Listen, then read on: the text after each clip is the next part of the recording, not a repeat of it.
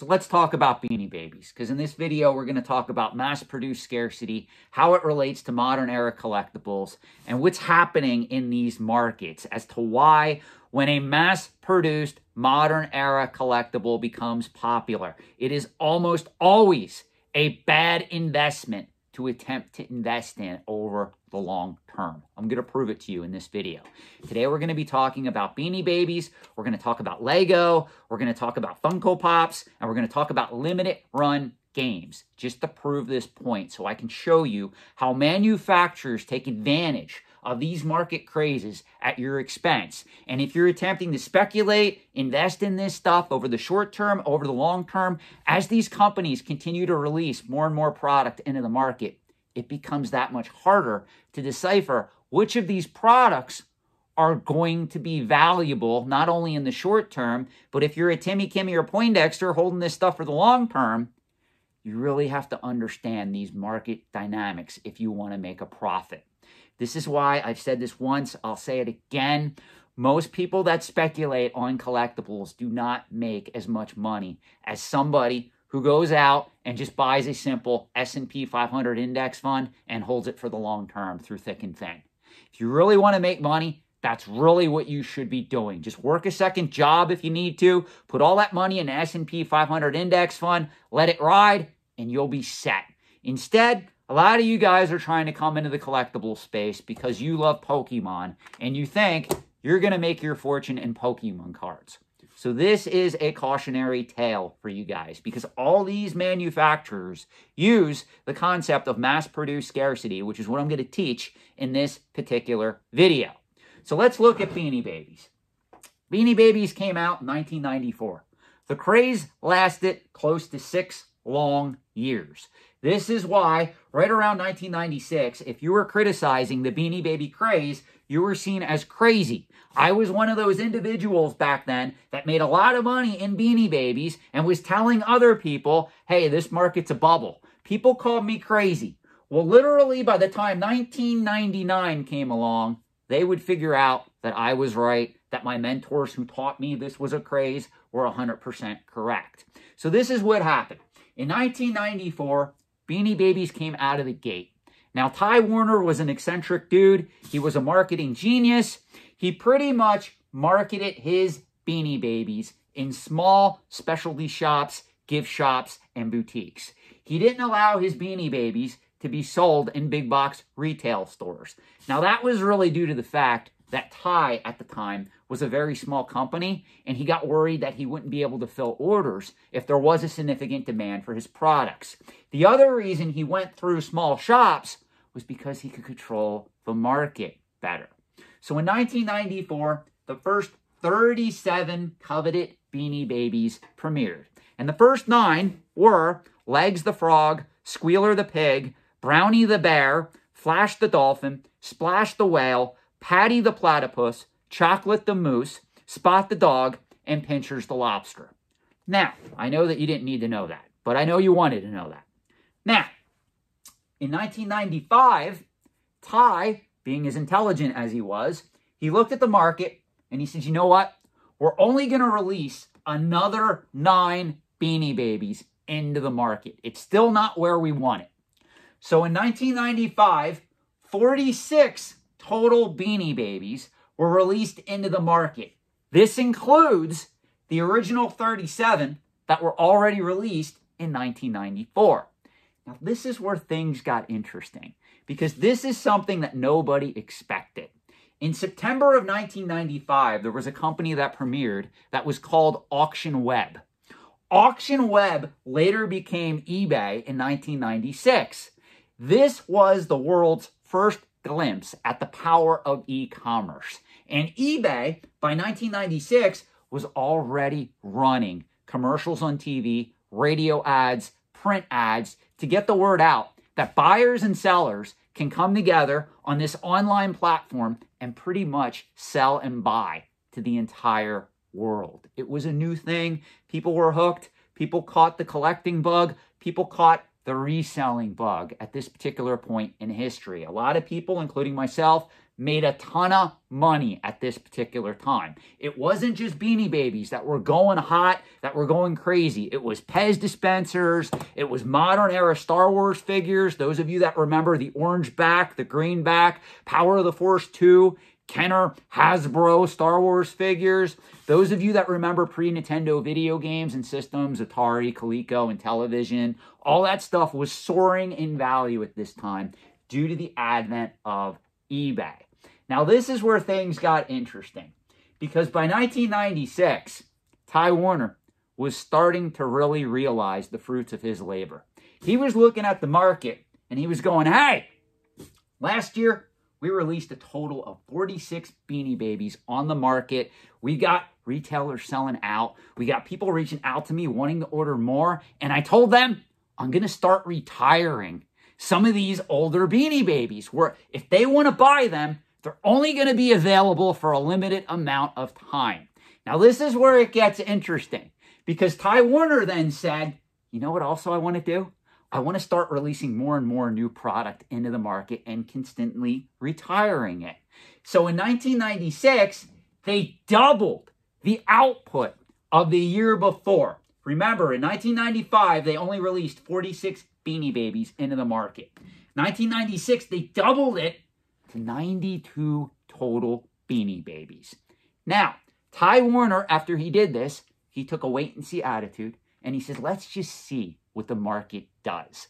Well, thanks to the rise of eBay, thanks to e commerce, thanks to everybody, including the mainstream media, talking about the popularity and investment potential of Beanie Babies, Beanie Babies blew up beyond belief to the point where in 1997, Ty Warner went and looked at the market and he said, you know what? Last year we released a total of 92 Beanie Babies into the market. This year, we're going to release 29 more. We're going to release 121 Beanie Babies into the market in the year 1997 why demand is trending upwards. Now, at this particular point in time, the Beanie Baby market still did not hit its peak. This is what a lot of people get wrong. People tell me all the time, oh, Sean, the Beanie Baby bubble only lasted two or three years. That is completely incorrect. I'm showing you how it played out just by utilizing actual production numbers here. So Ty Warner, again, being a very meticulous patient perfectionist, took a step back, looked at the market, and said, you know what? I still think we could do more with this. The next year, 1998, this is when the Beanie Baby market hit its peak. Ty Warner released a total of 176 beanies into the marketplace, which means he increased production by 55 beanie babies from the previous year. Now, if you look, a total increase in 55 beanie babies is actually more than the amount of beanie babies they produced in 1995, the second year of their release. This is the playbook that all manufacturers use, whether it's Funko Pop, whether it's Lego, whether it's limited run games, whether it's Pokemon, whether it's Magic the Gathering, whatever company we're talking about here, they all understand the dynamics of creating a collectible craze and then pumping out more and more products, hoping that the speculators, the Timmies, the Kimmies, and the Poindexters keep buying up all of these different products over and over again, hoarding these items so the manufacturer makes more and more money. Now, this is where it gets interesting. Couple of key points here, guys. Back in the 1990s, the average Beanie Baby cost $5. In the year 1998, instead of going to the market and buying all 176 of these Beanie Babies at a cost of $5 a piece, you would have been better off taking that money and investing it in an S&P 500 index fund. Let me show you why. If you would have spent $5 on each one of these Beanie Babies, and you would have bought all 176 of them, you would have spent a total of $880. If you would have parked that money in an S&P 500 index fund back in 1998 and held it to today, 2023, you would have a grand total of $10,661.55, which includes the reinvestment of dividends that that fund would pay. The people that ended up spending all that money on those Beanie Babies at the peak, guess what happened the next year? The next year is when the bottom officially fell out of the Beanie Baby market. As a matter of fact, Ty was smart. Ty actually saw it coming and he pulled back production. In the year 1999, Ty Corporation only released 65 Beanie Babies into the market. This is a pullback of 111 Beanie Babies from the year before. The manufacturers know how to monitor the secondary markets and the primary markets for their products better than the average speculator, better than the average Timmy, Kimmy, and Poindexter who are calling these items investments, buying them up, and putting them away, thinking they're going to be worth money in the future. Now, what can we learn from this? Well, let's look at Funko Pops. Funko Pops premiered in 2010. As of 2023, as of the filming of this video, there are over 13,741 unique Funko Pops in total. Now, this is up from 8,366 in the year 2019. And it also indicates that revenues have dropped 17% in 2023 when compared to year to date revenues in 2022. What this means is Funko Pop is releasing more and more product into the market. Their revenues are suffering because the Timmys, Kimmys, and Poindexters overall had slowed down buying Funko Pops. This is a massive speculative bubble. Funko Pops are no different than Beanie Babies. These particular items both lack organic collectability. Now, I know what you're going to say. Well, Sean, that's great. I don't collect Funko Pops. I never collected Beanie Babies. I collect Lego. I collect Magic the Gathering. I collect limited run games. I collect all these items with organic collectability. Well, let me give you some statistics that should give you pause. Let's talk about Lego first. Between 2002 and 2015, the Lego company only produced roughly 50 sets per year with a piece count over 500 pieces or more. From the year 2016 to 2022, the Lego company produced 114 sets on average that have a piece count over 500 pieces or more. Do you see how this company has increased production to take advantage of the Timmys, Kimmys, Poindexters, wannabe investors, wannabe speculators, wannabe resellers coming into this market. If you walk into a Lego store, it is insane with the plethora of product they have readily available for you to buy and attempt to quote unquote invest in. In 2022, 10 sets were released with more than 3,000 pieces. This is double for how many sets were produced with more than 3,000 pieces from 2016. The manufacturers are taking advantage of you. Let's talk about limited run games. Limited run games was founded in 2015. Great concept, brilliant concept. Nothing against limited run games. The first releases were Breach and Clear for the PlayStation Vita and Saturday Morning RPG for the PlayStation 4. Now, what's interesting is if you go and look up the value of those two games, first, obviously, Breach and Clear for the PlayStation Vita is the more rare or uncommon game in this particular scenario. Meaning, if you look it up on eBay, you're going to see that the average going rate for a factory sealed copy of Breach and Clear for the PlayStation Vita, the first release from Limited Run Games in 2015, is roughly selling for around $300. Now, Saturday Morning RPG can be had for under $75 factory sealed to this very day. And this was back when limited run games started releasing only a handful of titles every month.